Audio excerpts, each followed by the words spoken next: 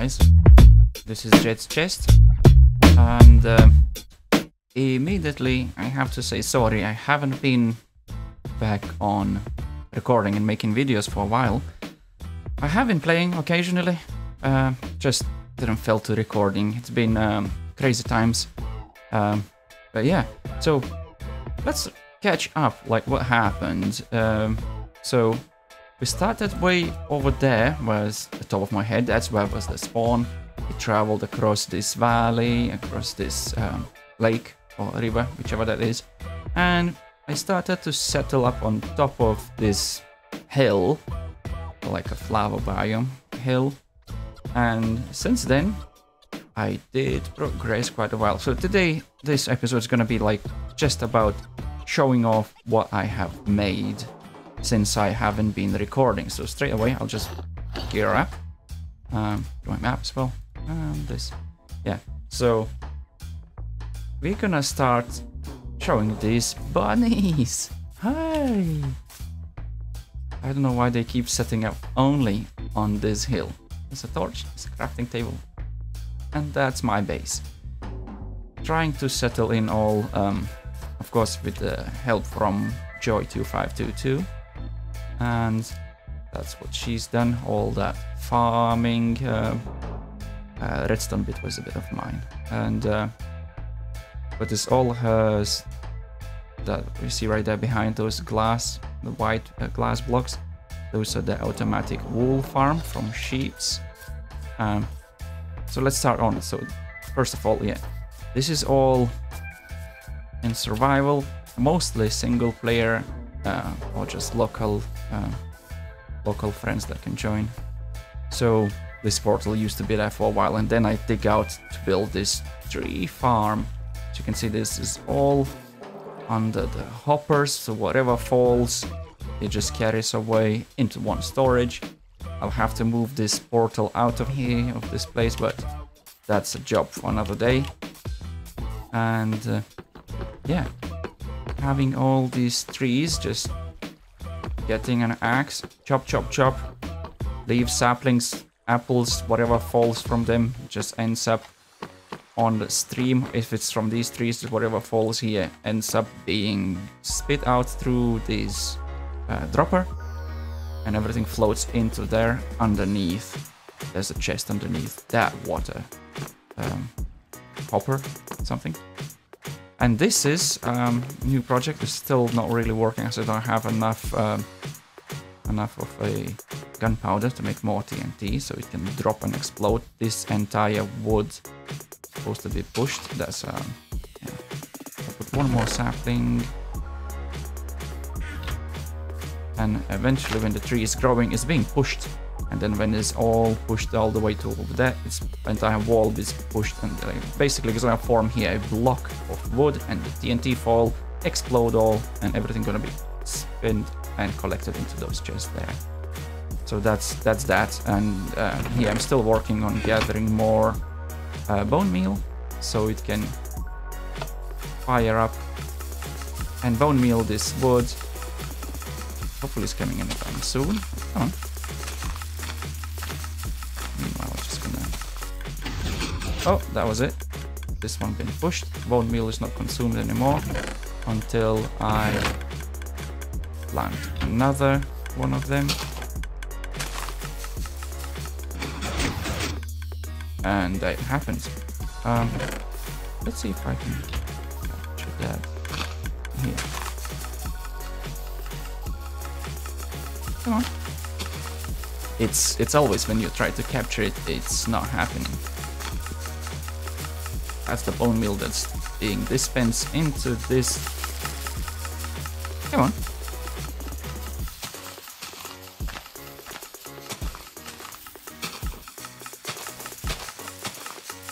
Oh, that's it. And sapling. Don't need you, Mr. Stick. Just be wary not to fall in there. Oh, there's another. That's happened. Another one. Oh! That was that was quick. Yeah. So eventually I need more bone meal. So I'm currently on a quest of, of making um, automatic bone meal farm. How much is there left? Still filling up. Yeah. Bone meal is going quickly through here, but then wood is coming as well. And um, this was initially just a little starter base. There's like a chest monsters. All the chest was here. This is my nether stuff and my valuables. There's still 50 diamonds there. A bit of nether scrap and nether debris, ancient debris. So that's there. Um, oh yeah, those are elevators here. And uh, this is my current bone meal farm. This is what I make. Just gonna drop that real quickly. Not that, right here. Off you go. So yeah, so this is gonna be my main house. This is like basement, excuse me, the basement. And that's gonna be a house on top, yeah? So let's coming in, this is not like my main door, but eventually gonna be somewhere higher up there, the main door. And this is my main storage, which is all categorized, so it is, um, it is all logs, and here all planks. Eventually, planks and, did I say? Oh, sorry, these ones with stone, all sorted as moss, more chests underneath there. And this is where you put all types of stone, all rare stones or more valuable stones, including iron blocks, which I have too much. I'll show you later um, where I get them from. Mm, well, gold. And yeah, and this is all the everything that's coming from these planks, mangrove planks, and this is everything else that's out of woods or wood planks that's not currently in this sorting row. Um, yeah, anyway, and this is gonna be like main elevators. Uh, did I show you that? Yeah, this is where you load up, put it. So eventually gonna have to bring what's underneath that chest, bring it and put it maybe here? Yeah. Um, like it's a sleeping time. So let me just real quickly spend the night. So, um, next day, next thing. So this is my like main elevator room. And even you know me, I'm into fishing, uh, gathering my levels and everything else. Oh, sorry, that was wrong. Adjust here manually, if I manage to drop. So this is my fishing farm. Come in here, do the fishing, everything's being collected and sent down. Right? And uh, this is coming up, and this is the way to go down. And here's well, like, um, coming up. That's gonna be the main lore. I already lay out um, how it's gonna be where, where the rooms are gonna be going, and then just gonna drop down. Um, yeah, you you've seen this. This is uh, my iron farm, um, which I gathered the villages from there. Um, calculated exactly. Um, it has to be more than 100 blocks away. So this is, and here also from all my whatever I have, tools and everything also was 100 blocks away, and then eventually I put up more. But all those villages over there, they have their own working stations already, so. They're fine. Uh, it took me time to bring uh, a couple of villages and then set up a temporary uh, villager breeding farm, breeding station, and populated all there is totally 30 villages. I believe it's 30. Uh, if you can count the beds, that's gonna be the amount of villages I have there. So it produces up to three golems at a time. Um, quite efficient. Running um, too much of uh, iron uh, already, as you can see. Building everything out of iron. So now stand here, dropped, boom. This is like a, a deep basement. So this is more stuff that's being sorted. Um, all the vegetables that I showed you before, those farms there. Uh, sorts out everything automatically when it's overfull. Everything goes into the uh, composting and into bone meal. That's a little bit more. So here's the way to walk through. If you need a hoe, you take a hoe. These two is for farms for melon and uh, watermelon and one what and pumpkin. So and these are those farms where you can click a button, flush everything down, uh, and, and this is the way to like drop here. then you can walk without tramping. If you fall down, you can tramp, uh, stamp those veggies, right? And then you just close it if you want to flood only this and the water not to go to another farm. Also my nether wart farm, which is still growing. Oh yeah, by the way, I can show you the sheep. Hey! Looks like uh, we might be out of shears. Yeah, uh, that's why they are still fully wooled. Um, yeah, I can turn those off.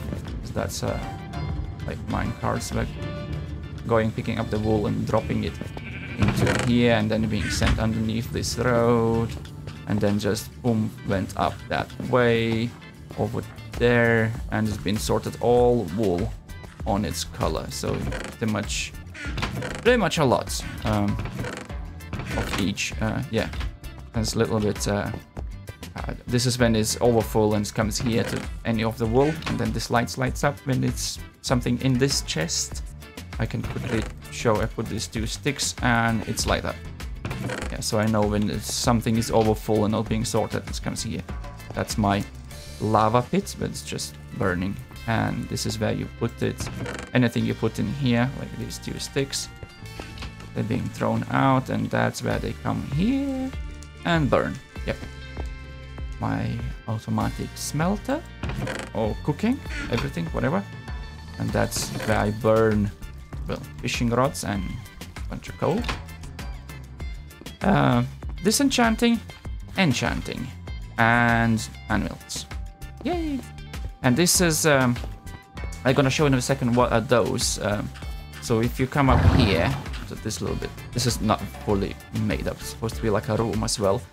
That's the fishing farm, and everything been dropped right here into these storages. And then I open here, this is all fish only, but if you've got any books, especially enchanted books, you put them here.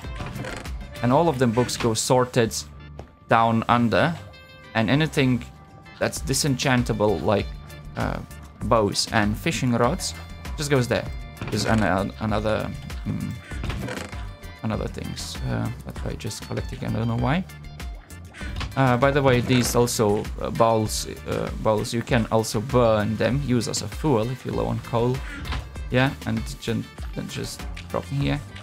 And this is where all the books come in. So this is all full of books. Eventually I'm gonna make up a room that way where each book gonna be sorted by its own enchantment. Mm-hmm. Mm-hmm. And this is where all these uh, bows and fishing rods that are good for disenchanting. So basically you come in here, fill up your inventory of all of this stuff, you walk down here, and you just disenchant everything. And then just throw them to be destroyed. Or if it's uh, sorry that one. If it's bow, you can use it as a fool as well. Sorry, not bow, fishing rods. Bows, you can use it um, to make uh, make all of them. Uh, what's that? Dispensers, not droppers, dispensers. Yeah, that's right. And this is, um, I haven't seen. Um, showing this one. So here, this thing. I'm just gonna hop up a little bit. You see, this is uh, that, that's dripstone with the draining, uh, and uh, this is clay that's coming, and that's a dirt. So basically, this one is full of water bottles, which I get also from this farm. Just basically, if you find water bottle, dropped it there, right in that chest. And then basically here is where you stand and put on uh, dirt. Uh, sorry, I don't have any dirt right now. Just gonna take this one for a second. And this dirt gonna be automatically pushed. And when it's pushed, that's water splashing that dirt, making it into mud. And the mud comes here, and all when it reach here, it's been pushed all the way that way.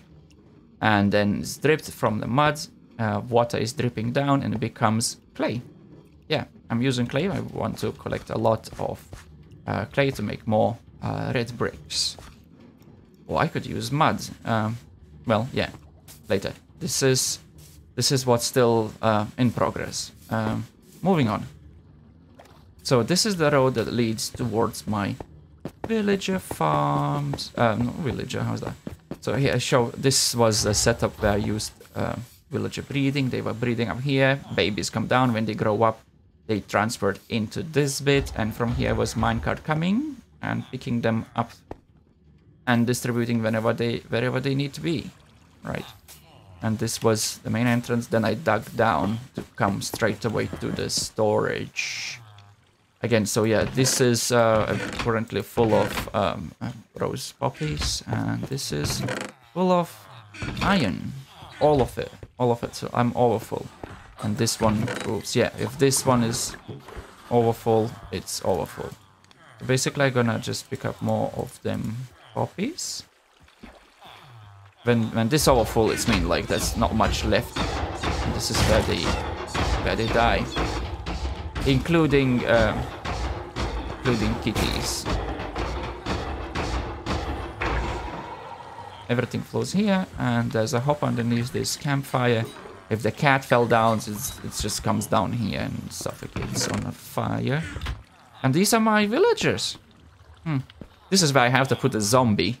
Then I can send it and bite each villager. Um, if you can see that they have their butts exposed the zombie gonna bite in the butt or in the heel of each villager or any villager, convert them into uh, into a zombie villager.